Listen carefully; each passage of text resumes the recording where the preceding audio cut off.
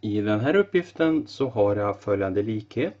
Att jag vet att arean för den här figuren den är detsamma som arean för den delen adderat med arean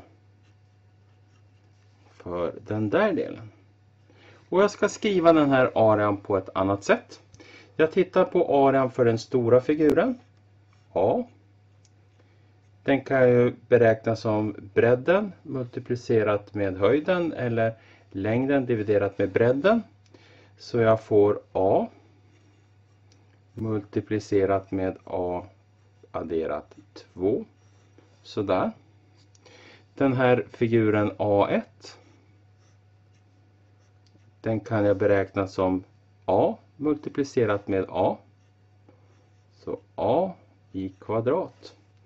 Och A2 den kan jag räkna som 2 multiplicerat med bredden och den är ju A. Så 2 multiplicerat med A det är två stycken A.